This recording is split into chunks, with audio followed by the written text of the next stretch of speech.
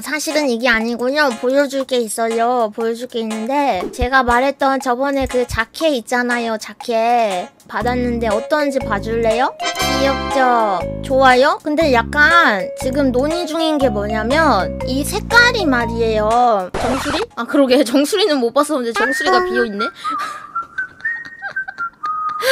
저 일단은 나는 A A 머리 색깔에다가 B 눈 이렇게 선택하긴 했는데 투박스 버전이 제일 낫다고? 투박스에 있는 것보다는 이게 더 나? 그러면은 이 자료 이 2에 있는 얘는? 아 얘는 내가 떠올라? 아니 그럼 아 똑같잖아 똑같이 생겼잖아 아 눈동자색? 눈동자색은 뭐가 나을까요? 빨강 빨강 괜찮아? 갈색? 교복 색깔? 교왜요? 교복 색깔 고마워요 여러분들 거 많이 참고했어요 나중에 또 의견 또 한 번 더 물어볼 때 있을 거거든요 그때 한 번만 더 대답해줘요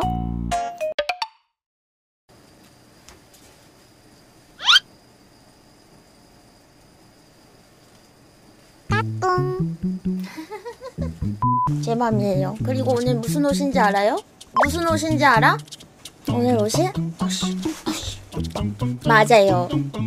모두가 에반게리온이라고 생각하겠지만 틀렸어요. 모두가 에반게리온이라고 생각하겠지만 틀렸다냐? 뭔지 알아요? 노론 옷이었어요.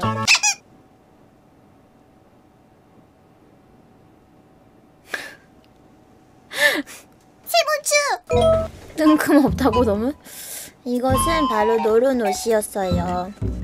세번추로 알아봐는 조선 붕당에 이, 의해 우선 태초에 동인과 서인이 있었어요. 동인, 퍼스널 컬러에 맞춘 다홍눈이 진리. 하지만 서인, 세봉추의 눈은 원래 검은 눈. 그러다 남인과 북인이 등장했어요. 굳이 머리까지는 맞출 필요 없다. 색깔 맞추려면 머리색도 맞춰야. 그러다가 예속 논쟁, 남인과 서인은 예속 논쟁이 일고 어, 소론, 색상만 바뀌어야. 그 외에는 사문난적. 그 다음 노론, 이왕 바꾼 김에 옷도 바꾸자. 하지만 여기에서 끝난 게 아니에요. 탕평책이 여러분들을 기다리고 있습니다. 탕평책은 과연 무엇일까요? 싸우지 말고 오드아이로 하자.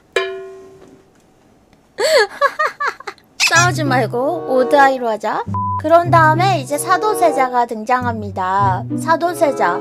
다른 머리 스타일도 이쁘다. 음, 다른 머리 스타일도 세봉추는 이뻐. 그 다음에 실학이 등장해요. 세봉추는 실물이 제일 귀여워. 세봉추는 실물이 제일 귀여워. 그러다가 시파. 무조건 포니테일. 벽파. 정수리가 없으면 서세범이 아니다.